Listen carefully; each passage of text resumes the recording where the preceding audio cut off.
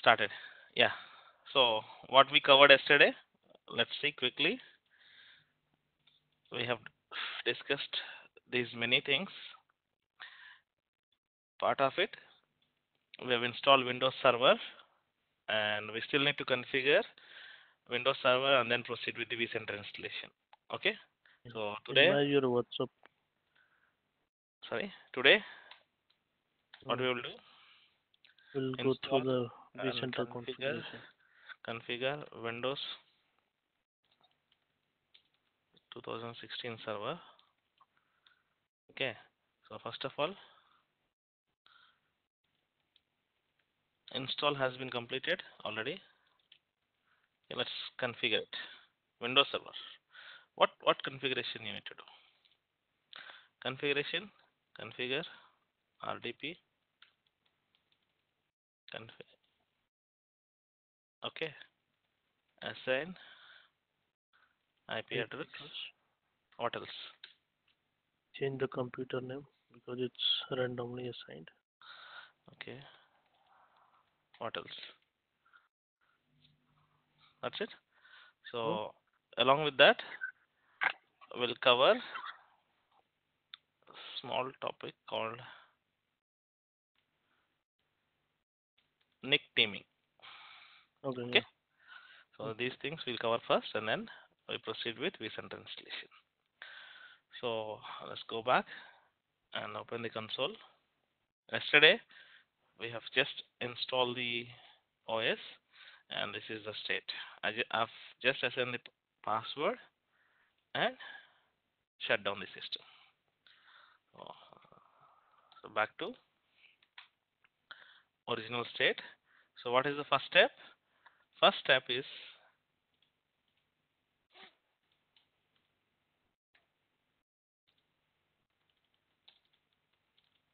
VMware tools. Okay, reason is it won't Hmm. discover the network settings. If you look at the network settings, see adapter it is not discovering. So what how to install VMware tools? Go to VM, guest, install VMware tools. Okay. Now if you go inside the VM, close this out. You'll see CD has been automatically mounted. Click on it, run.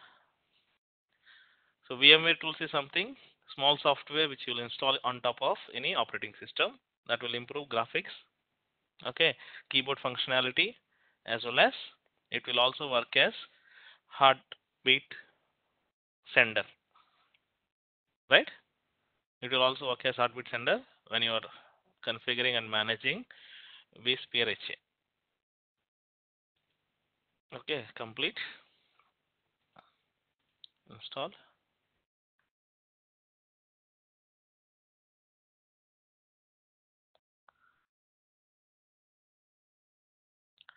See, automatically drivers has been detected. So assign the IP address. Before assigning the IP address, what I need to do, I have to do some tweaking. I'll show you. You'll see two NIC cards. So I don't want to assign IP address to any specific NIC card. What I will do, okay, finish. It is asking for reboot. Okay, before rebooting, what I will do, I'll simply change the system name. What is the name? vCenter 01, right? I'll keep it in work group only. I don't have any active directory to join into the domain. Fine. Also, let me enable RDP.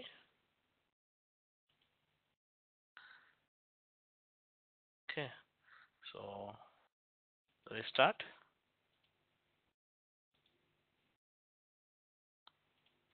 What happened?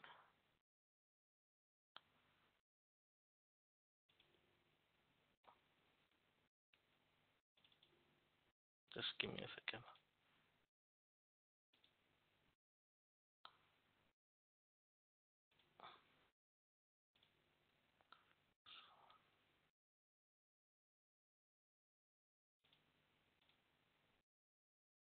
Just give me one second. Something is.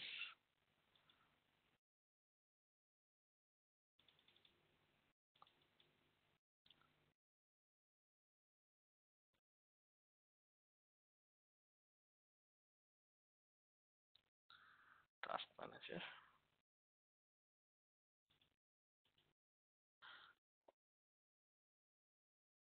Hmm. Hung.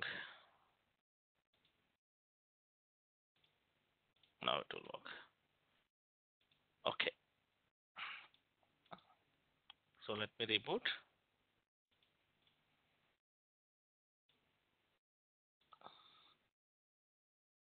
Okay, it's restarting. So deployment is failed due to some reason. I'll check it out. I'll check that later. Fine. So it's rebooting.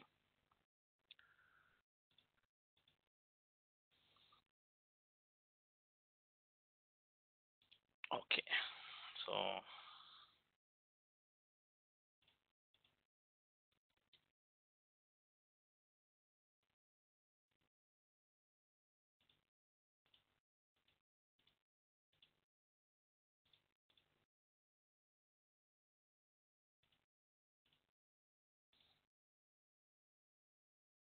okay. So go to full screen.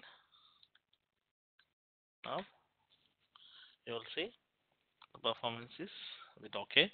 You'll see two NIC cards. So I don't want to use any specific NIC card to assign the IP address. What I will do is I will simply create a NIC teaming. What NIC teaming will do? It will provide, let's say for example, you have one Windows server and it has two cables connected to two different switches. Okay, NIC teaming is combining both the NICs and create one soft link and assign IP address to virtually created NIC. So IP address will be assigned on top of newly created NIC and it will send the data via two physical cables. If something goes wrong, you still have a second cable to access the server. So it will provide HA at network level for Windows Server. Okay, so how to do that? Let's see. Go to local manager, local server, NIC teaming. By default, it will be disabled. Select, go to task, new team, same thing, public. Select both the Ethernets, expand, and load balancing, address hash, okay.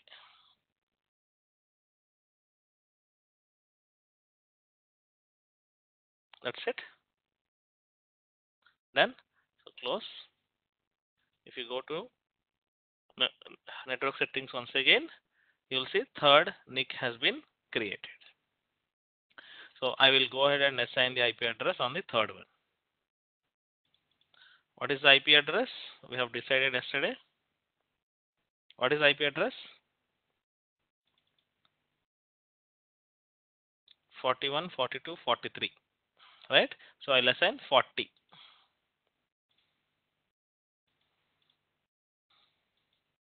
Okay, 192, 168, 40.40. 40.1 is gateway and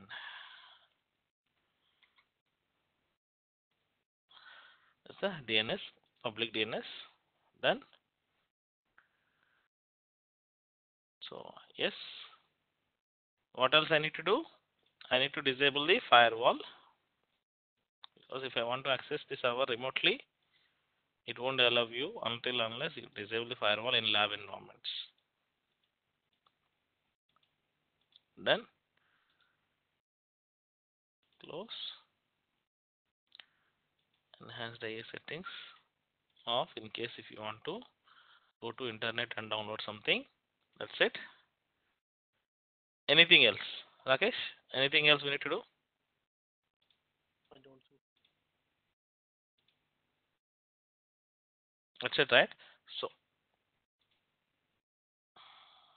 rename complete.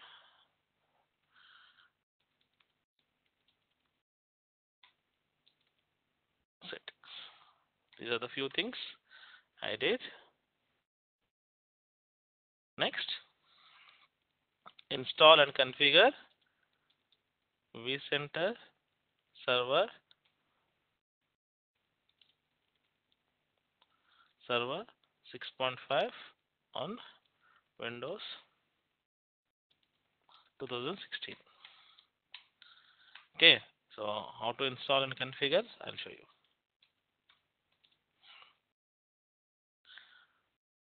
Install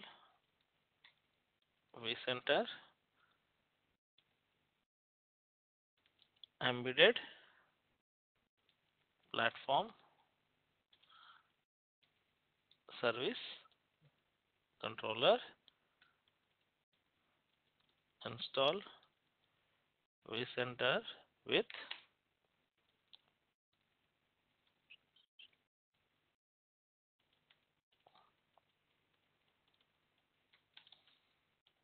okay these are the two considerations. In real time it might change. How to do that? Let's see. So let me clear this off.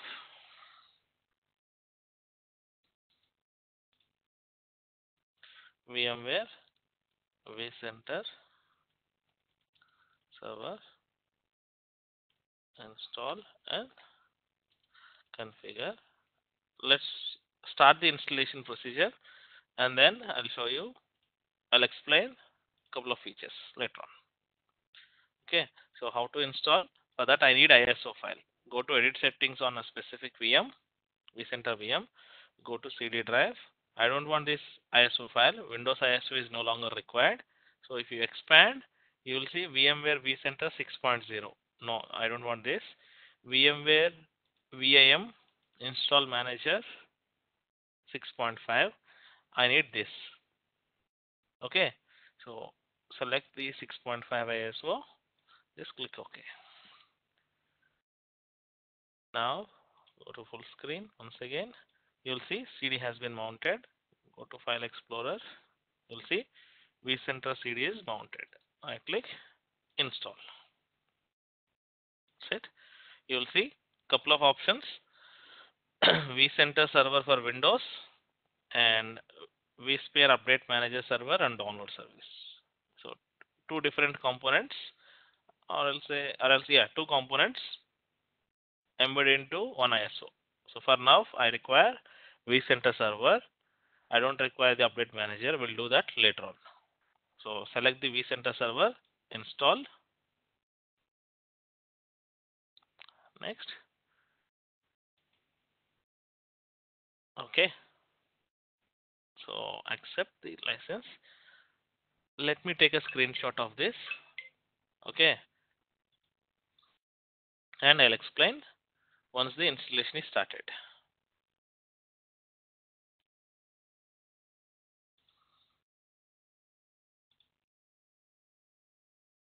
Deployment type. Embedded deployment. So that is the one I've mentioned here.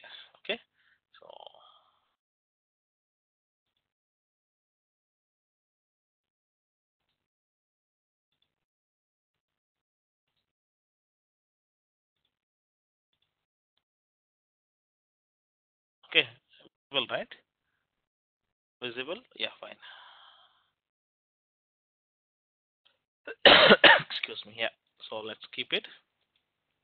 So for now, what I will do, I'll simply go back and I'll say embedded deployment. Embedded deployment, if you look at vCenter server and embedded platform service controller. I'll explain what is the functionality of this, what is the functionality of this, and in this scenario, both the both the components will be installed on one single server. Okay, this will be used in lab environments or small customer environments external deployment, platform service controller and vCenter server. Both will be installed in a different servers, different virtual machines or a physical server, doesn't matter. Okay, so you'll see the setup will be something like this. So for now, I'll go with this. Next, what is the system IP? 192.168.40.40, right? If you say an IP address was provided, this is acceptable, but fully qualified domain name is FQDN is recommended. I don't have active directory, so I cannot get the FQDN for vCenter. So I'll skip it. I'll I'll say OK, and I'll proceed. So remember username and passwords. So what I will do, I'll take one more screenshot.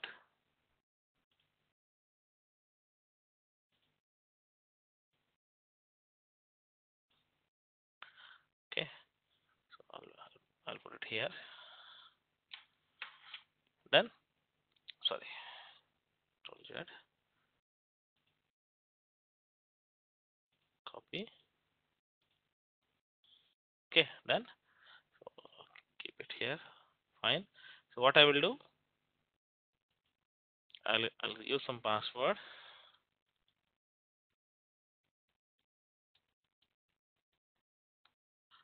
Okay. So in this case, it is saying by default vCenter server instance with Windows local account. If you don't want to use any local accounts, you can specify your company provider service account. Okay, and the password, non-expiry password. For now, I'll select local account only. yeah, in this case,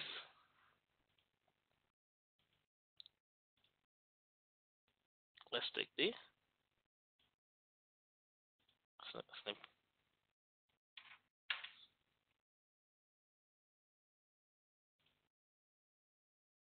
Copy.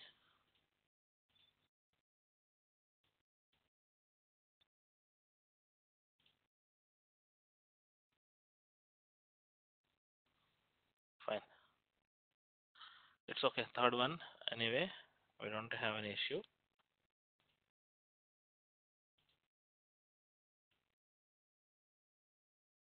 Okay. I don't want to waste time. Okay. So third one, I'll keep it like this. I already have a snippet, right? So nothing to worry. so third one, if you look at database configuration, so vCenter will use the backend SQL or relational database to store the transactions which is happening inside the vCenter. Okay, for that you have two options. If you are running with a small environment, a small customer or a medium customer, and number of servers are less than 30 or 40, you can use embedded database that is defaultly comes with vCenter software. The, the database name is PostgreSQL. PostgreSQL is open source database. So VMware vCenter server ISO file includes three things now. One is vCenter server, another one is update manager, and third one is PostgreSQL DB. Okay, no, I don't want to use the internal database. You can use external database. For external database, setup is something different that I'll explain later. Okay, for now, remember external database. I'll explain the how it works and how you configure later on. So I'll go ahead with the embedded database only. Next, you'll see a lot of these these ports are required in your customer environment in order to run the vCenter. So if you are planning to install a vCenter in a specific VLAN, on that particular VLAN, all these ports must be enabled for this specific server or the whole VLAN range. Next, so your vCenter server, platform service controller, and platform service controller vCenter. Both the both the components will be deployed here, and their temporary data or whatever the data that is transactions being happened uh, related to the application will be saved under program data. Okay. Next, I don't want to send any inputs to Microsoft. Next, sorry, VMware install. That's it. We'll leave this for 15 minutes. It will install in 15 20 minutes. Meanwhile, we'll discuss about few things. So minimize. Okay, minimize.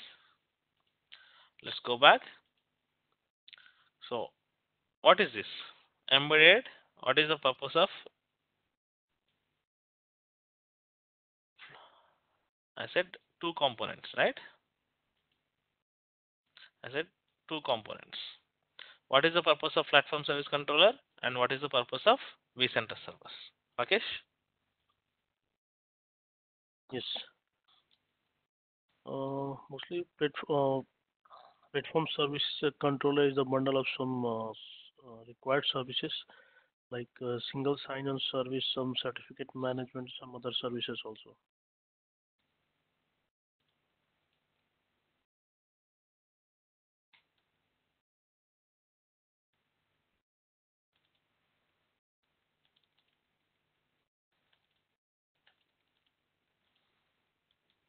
Right? Hmm. Means what? Authentication and authorization will be taken care by platform service controller. Means, let's say for example, you have your vCenter server. You came to office in the morning and you log, logged in with your office username and password, Oh. domain ID and password. So, username and password will be authenticated by vCenter. Sorry, authenticated by Active Directory. So, you are logging in from you are logging in from vCenter. The username and password what you have typed will be collected by PSC service and it will send it to Active Directory for Kerberos authentication. Once Active Directory says yes, username and password is valid, then only platform service controller will allow you to log in inside the vCenter. That, that whole process will be taken care by platform service controller. Agree? Hmm. Hmm? What else?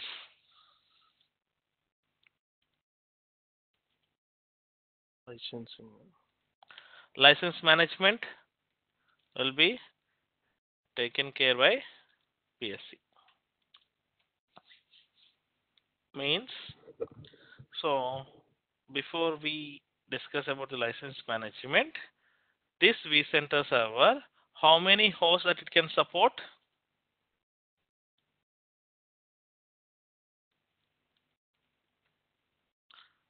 Six point five will support thousand hosts and ten thousand VMs, I believe. Right?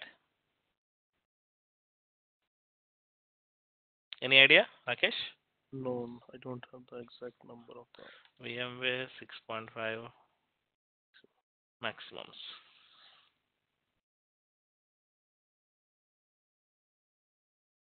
Maximums tool. Let's go back. Anyway, the installation will take some time, so no, no need to worry. It will take around 20 minutes to complete. So get started.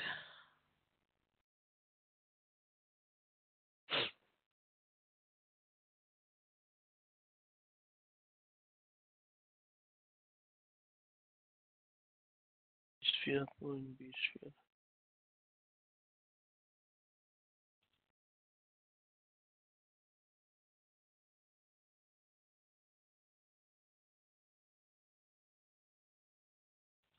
Let's see what it, what it says. Rather than spending so much time on it. 6.5 vCenter server maximums. Post per vCenter 2000. 2000. Okay. And powered on VMs, registered VMs, linked vCenters, number of. Yes, it's, I have It's spotted. 6.0. I guess, yeah. This one, my bad.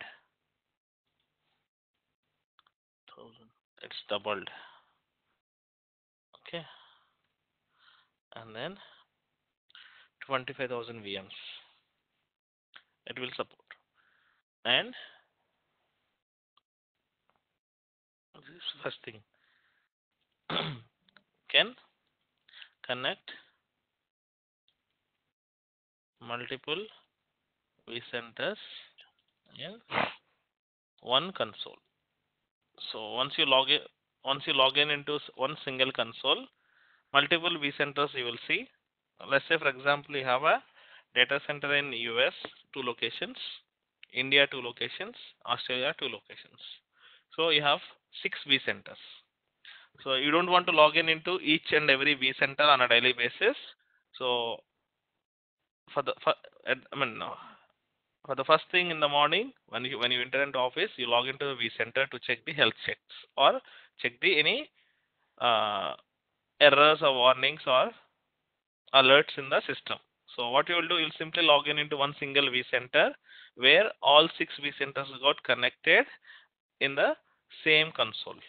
So that supports in 6.5, uh, sorry, starting from 6.5, it will support multiple vCenters in a single console. So maximum how many vCenters that you can add? 10 vCenters. Okay, so licensing management will be taken care by PSC. Let's say for example you have 2000 hosts. Each host will require a separate license. Also vCenter itself requires a separate license. How many types of licenses in the in the in the VMware world? Any idea? Types of licenses? Three, right? Sorry? Standard enterprise. Three, I think. Okay. Four, I think. Standard and Standard, enterprise and Enter- enterprise enterprise, enterprise plus.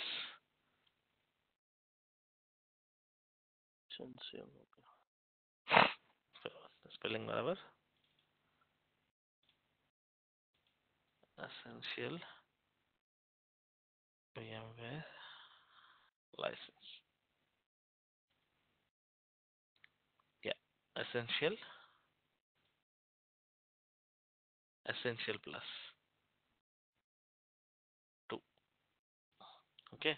There are two in essential as well essential and essential plus five types of licenses. Okay. Let's say for example you have a 200 hosts. Some of the hosts were purchased with standard license and some of them were purchased with enterprise plus license and your vcenter is running with enterprise plus license so let's say for example the ones which are running with standard license they should only get standard features. They should not get enterprise plus features even though your vcenter is running on enterprise plus license. So who will take care of all these things? Whether the license is added or is there any duplicate licenses added in the system or license is valid and the features which are installed or the plugins which you have installed or the license which you have purchased and the components you installed are correct or not.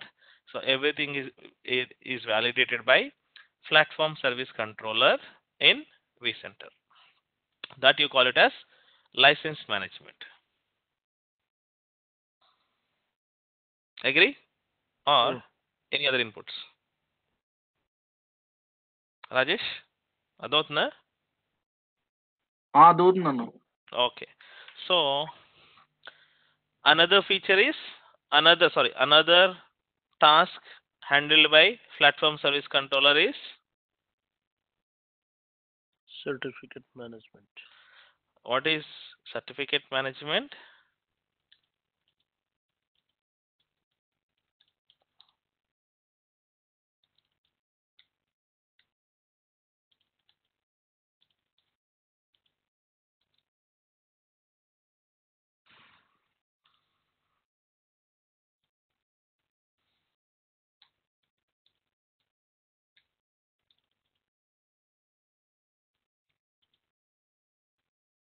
passwordless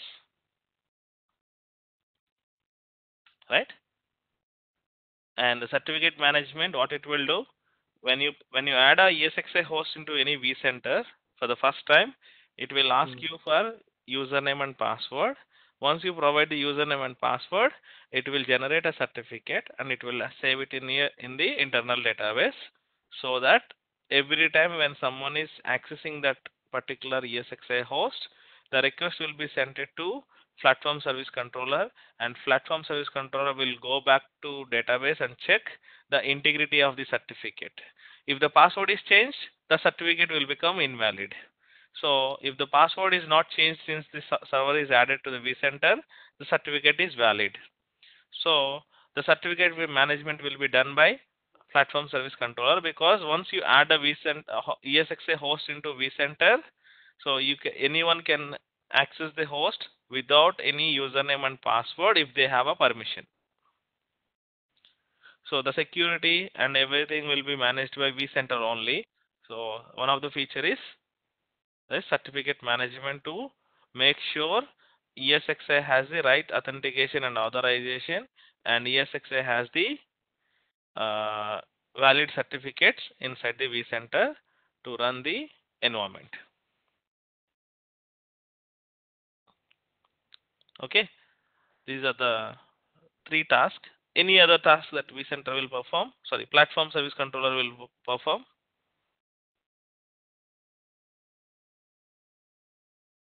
Some other services also taken care by the platform services. Yes, yes. A lot of other services there, but these are, these three are the These are major the main. yes. major ones. Okay, and then what vCenter will do? Platform service controller is one component. vCenter is another component. vCenter, what vCenter will do? vCenter will take care of inventory. Inventory management. Okay, and the whole data center objects integrity right and it will provide features called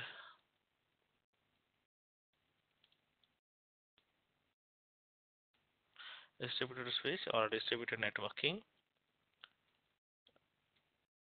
vSphere HA DRS FT update manager. What else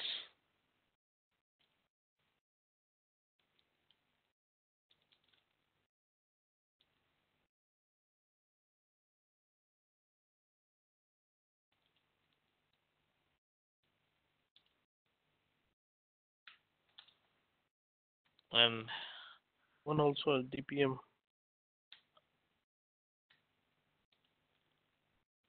data protection manager and so on Distributed power management.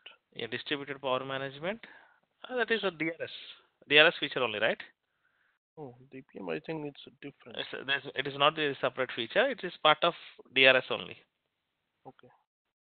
okay vMotion motion a lot of other things are there okay the list will keep on continue. But these are the few features that vCenter will take care. And platform service controller will take care. Majority majority of the security security things. And vCenter will take care. Rest of the user or customer features or customers customized environment features. Some customers may require vSphere HA and DRS. That's it. They don't require fault tolerance. They don't require distributed networking and all. So based on that, the vCenter behavior will change. For that also, you need to have a specific licenses. So Enterprise Plus is the highest license uh, licenses provided by VMware, and standard you'll have a standard features, and essential you have if you have a customized requirement or you have a third party vendor tie up like you are you, you have purchased the Cisco hardware along with the Cisco hardware you already got the vCent uh, sorry vSphere uh, VSXi or vSphere installed on top of the Cisco servers. Only thing is you need to go with the VMware for licensing. So in that case you can opt for essential license because most of the features are covered in uh, Cisco license model. So if there are any specific features that are missing, you can go with the essential license and get the required features with less cost. Okay, so these are the few things related to vCenter. And I said install vCenter, sorry, platform service controller and vCenter are the two things. If you go back, these are the two things you can segregate and install it on server 1 and server 2 like this in two different servers. But in my lab environment I've installed everything into one server which is 40.40 remember okay? And what else?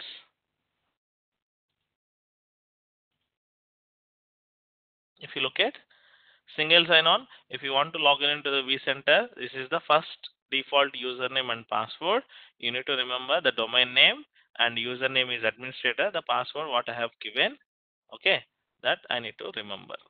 What else i have? This one copy and paste it here. So in this case if you look at by default it will install vcenter vcenter server along with the vcenter server it will install vmware postgres sql database for backend database uh, purposes or for backend.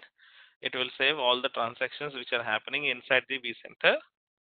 If you if you don't want to use this embedded database okay if i said embedded database means you have a vcenter server. Now it has a three components. One is db other one is platform service controller. Another one is vcenter server. So all the three components in one server only in lab. In real time this is on one server this is on second server this is on third server. This is the configuration. So in real time if you have a db in a separate server what you have to do you have to do the following steps. Let me see, let me show you.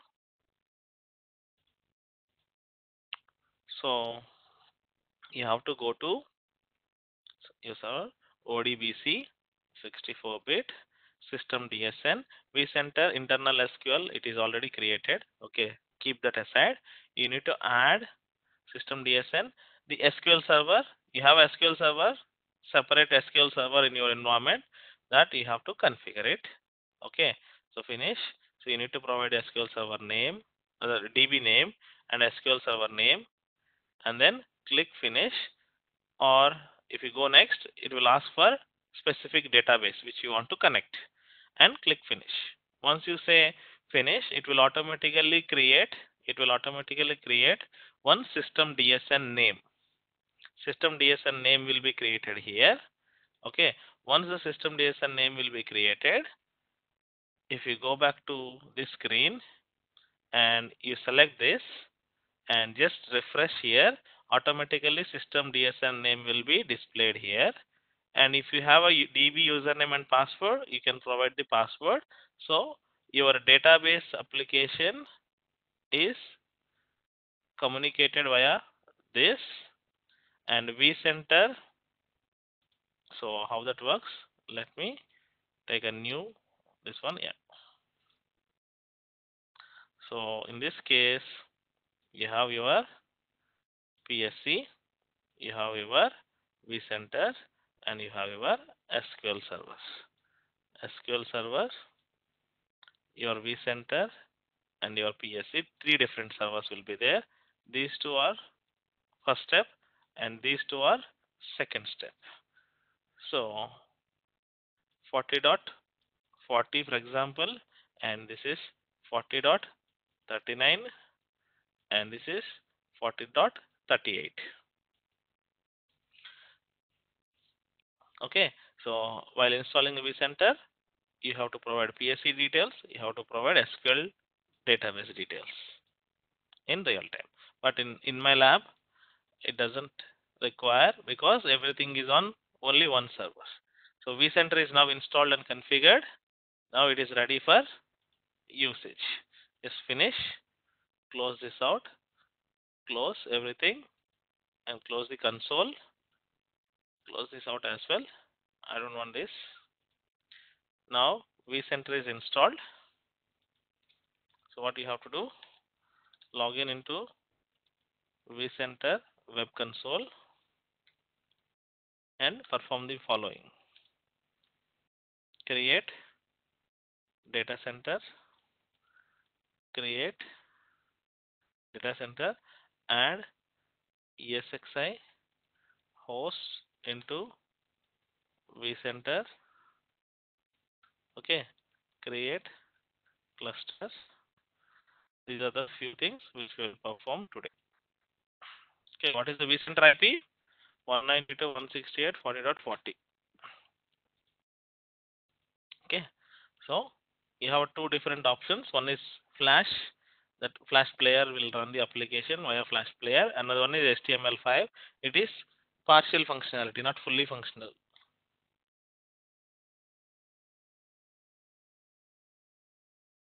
Okay, so let's take a Flash. It will always says get the Flash player. I'll say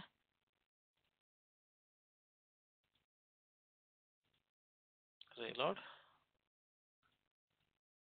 and site settings flash blocked allow and then close it reload. You'll see it will disappear now. And what is the username? Administrator at the rate vsphere.local is the username and password. Okay so let the system log in. Meanwhile I need to power on my ESXi servers.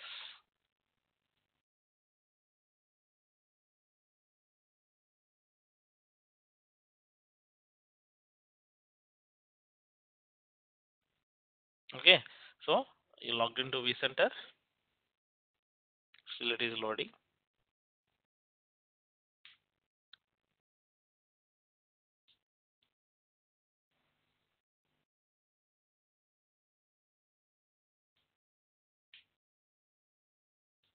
Okay, if you look at the vCenter symbol and the ESXi host, when you log in to the ESXi host yesterday, that symbol is different and the vCenter symbol is different. Okay, and you'll see a lot of options and lot of features are part of this vCenter server summary. there is nothing 6.5 and this is the build. Okay? And if you go to HTML it is saying there is no vCenter license. It's okay. Okay manage the licenses. So by default how many days you'll you'll have uh, how many how many days you'll have? 60 days. so by default system will function without any system will function without any restriction for next 60 days. Okay but once the licensing trial licensing period is over it will ask you to in install the license to for further usage i can say. Okay? So vCenter this is another view just like your html is another view but all the features and functionalities are not fully integrated in 6.5 i believe it is embedded in the 6.7 okay so let me go back here. Yeah let's see if my vsxi host has got the ip address to add. Yeah 40.41 so what needs to be done? Right click on your vcenter and it will ask you to create new data center. Data center is nothing but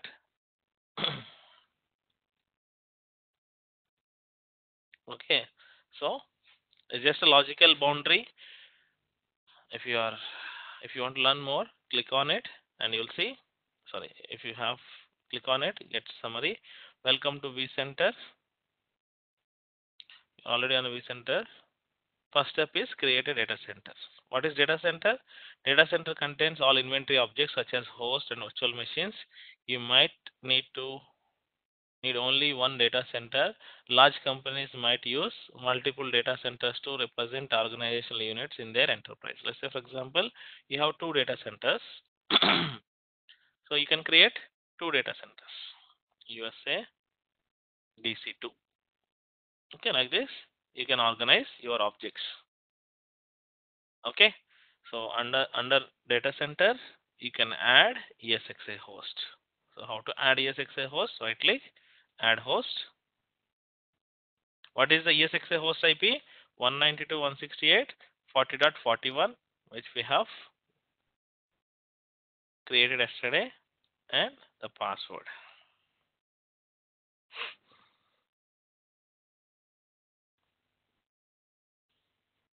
Now you'll see the certificate has been generated. The username and password which I have provided, based on that, the certificate has been generated and it will save in the database for further transactions. So whenever I click on this host, it will go and check the certificate status. If it is valid, it will allow you to access. If it is not valid, then it won't say, it will not allow you to access and it will say password has been changed or unable to contact the ESXi host or something. Okay. So if you change the password from backend. What is the password? VM where one exclamatory. Yes. Yes. Next. And SN license evolution trial license 60 days. Next. Lockdown mode. If you enable the lockdown mode on any ESXi server, you will not be able to access your ESXi server outside the vCenter server. If a vCenter server is down, then you have to wait until the vCenter server is up and running. You will not be able to log in into individual ESXi host. So don't enable it, just leave it disabled. And VM location, I don't have any VMs to specify somewhere. Okay, deploy. So add standalone host. Add secondary host, second host as well. 192, 168, 40.42.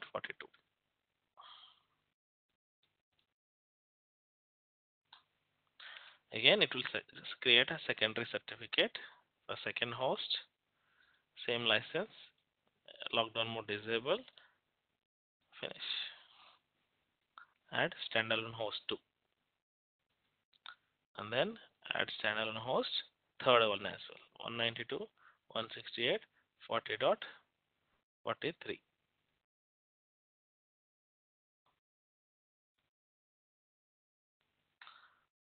Right? This is the another certificate. Certificate management will be done by PSC. Licensing, licensing, it is checking for licenses. It is also done by PSC. Done. So I have added three hosts. Now you go to vCenter server and go to summary. You will see some CPU, some memory, and some storage is added because earlier it is zero. Everything is zero. When you log into the vCenter for the first time, you will see everything is zero. The moment you start adding the host, the host capacity will become vCenter capacity. Okay, number of hosts 3. I, I don't have any VMs running on it, and this is the capacity. 18 GB is the RAM. 3 hosts, 3 into 6, 18 GB. And on one host, I have created one data store. That is the reason why it is showing up 7.5. And CPU is a combination of all three ESXi hosts. This is the overall 16.76 GHz CPU. Okay. Now I need to create a cluster because you cannot manage ESXi host in a vCenter. If you directly add ESXi host, it will work. You will not see any issues. But if you want to use all the features, what all the features? These are the few features which you want to execute in vCenter. Then these are cluster bounded features. These these features game game role or uh, scope is inside the cluster. So what I need to do? I need to create a cluster under data center. Right click, new cluster, and you will see. And when I say cluster, you'll see lot of these things.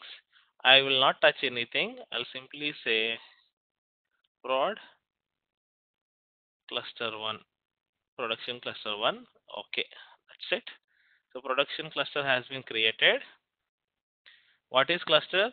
Cluster is group of hosts. When you add a host into cluster, the host resource become the part of the cluster resources. the cluster manages the resources of all the hosts within it. Okay, cluster enable vSphere high availability, distributed resource scheduler, and vSAN. These are the three features that cluster will provide. If you want to use all these features, then you need a cluster. Remember, okay? So go to summary, cluster summary. Initially, cluster summary is zero. Okay, just select and drag and drop the host into cluster. Okay, it is performing something. Wait for some time. You will see some capacity will be added here.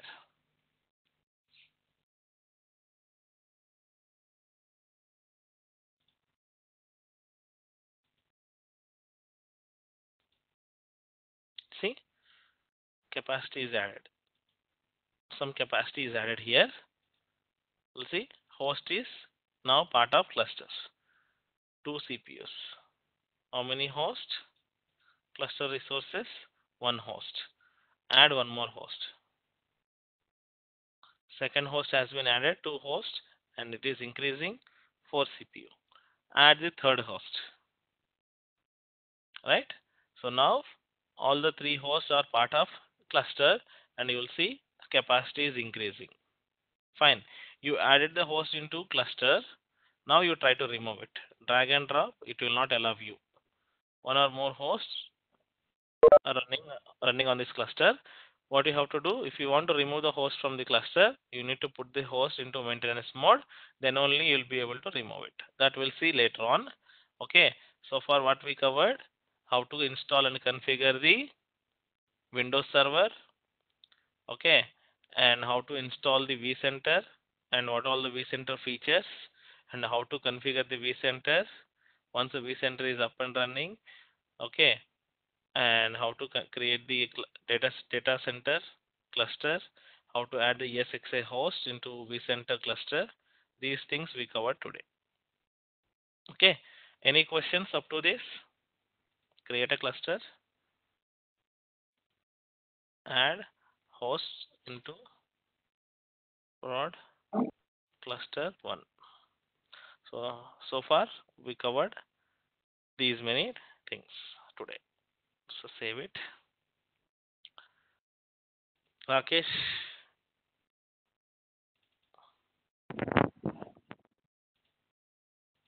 yeah, tell me.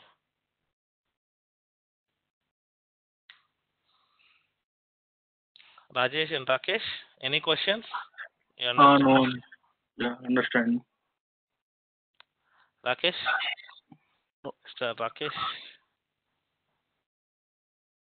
Fine? Hmm. Can I stop here? Okay. Yeah, let me stop here.